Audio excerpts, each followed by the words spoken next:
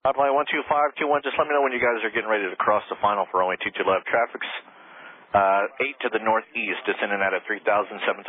Two right.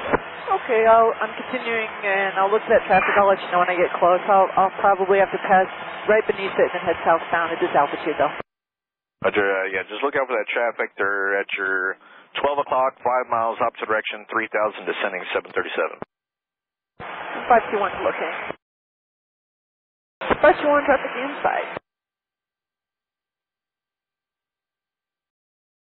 91 Mondo 22 left.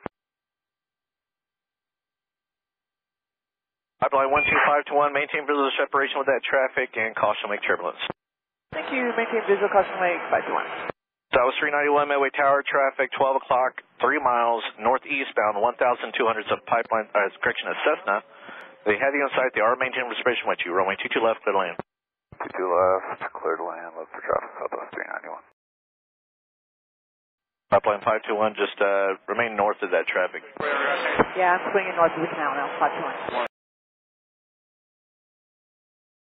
Traffic in sight. Southwest 391 responding, getting back on quiet.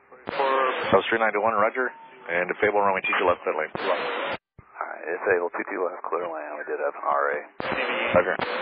Uh, no, we're not going to. Uh, put this on the books. We're going around because of them, and uh, we're going around. That was 391, Roger. Uh, maintain 3,000, fly runway heading for now. 3000, runway heading Southwest 391. Happens way too often. Pipeline 521, heading southbound now. Pipeline 521, Roger. Southwest 391, wind able to turn left heading 140. Left turn 140, Southwest 391. Southwest 391, contact Chicago approach on 128.2. 28-2.